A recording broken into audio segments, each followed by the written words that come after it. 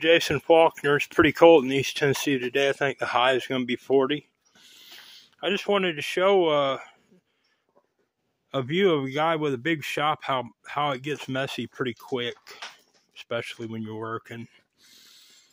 Tools get scattered, everything gets disorganized, everything gets dirty and misplaced. So, uh, I've just, you know, had a moment to to try to reconfigure some of my cleanliness and put some of the stuff back together. It's my failed attempt at my angle grinder drive for my nut husker. Now that my uh, diamond Dremel bits came in, I think I can salvage my Sawzall motor. It's like new on the inside. It just has a failed brush housing, the uh, the brass spring they use to attach the power wire to the uh, to the armature melted for some reason, whatever reason, who knows why. Maybe it was just fate. Maybe it was just meant to happen, so I don't feel defeated on it. I, I you know, I was very satisfied with the quality and performance that thing there was achieving for me. I had a, or I have a perfect flail head, as shoddy as it looks and unrefined. I'm satisfied with the performance and safety that this was giving me. So I think I'll reapproach this and if I can salvage that and, and fix the issue of it burning the brush contact and dirtying the uh, the brass contact surface of the armature by uh, using some silver wire. I have some remnants of some high quality silver wire that I can wrap around that, that contact and maybe stop that issue from it fouling the uh, contact surface. You know, then I'll be set to to finish uh, removing the husk off my black walnut pile so I can finish feeding the birds throughout the year. Hopefully it just dirties my hands when I tear the, the, the hulls apart, and some of them are so tough I can't even do it. You know, I got to use something else to to tear that tear the hulls off the black walnut so I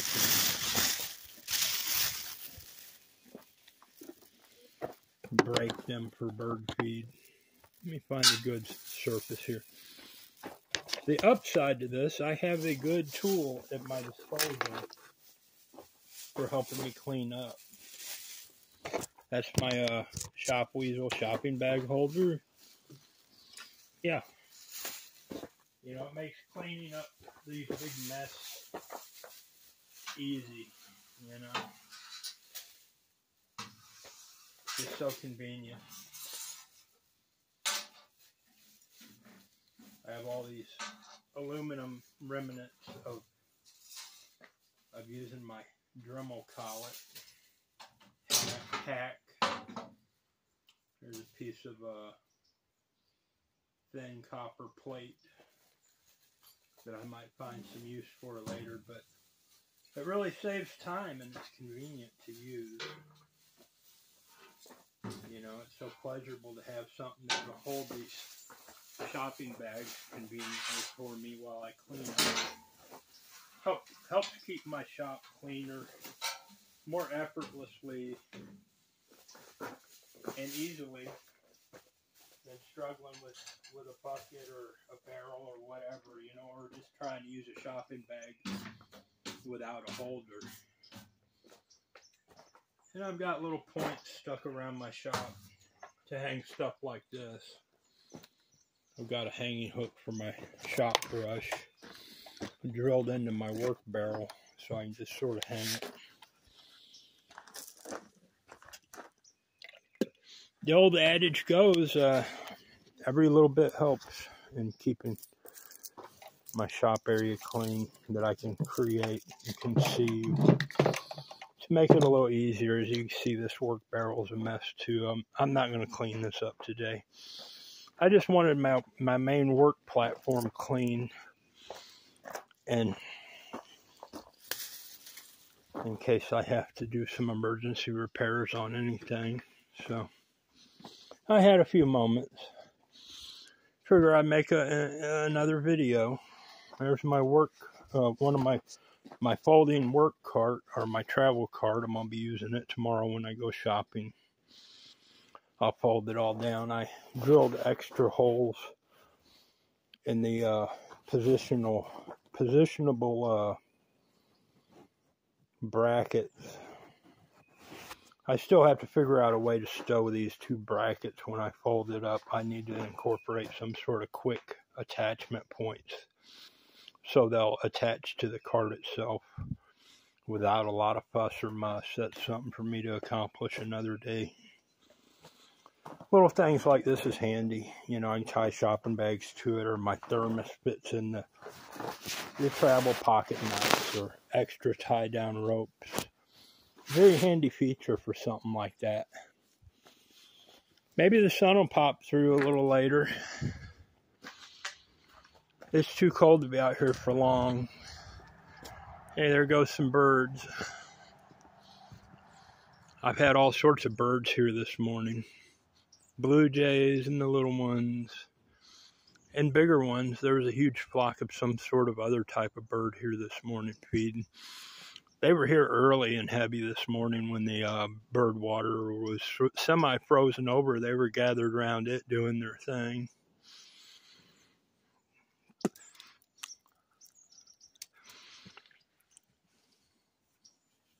They're really appreciating the feed.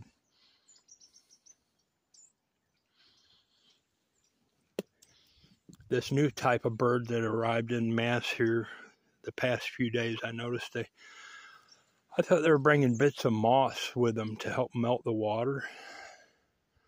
I noticed little bits of moss in the, on the frozen water that they'd drop and it would melt the water so they'd have little pools of water to drink pretty ingenious. Here's my windmill. Hey, the sun's popped out. That's good.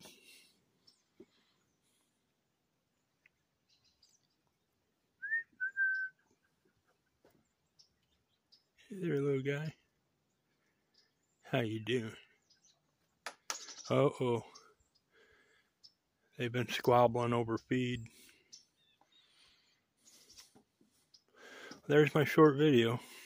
Y'all have a good day. Jason Faulkner. I just came up from my mailbox to get my Dremel bits.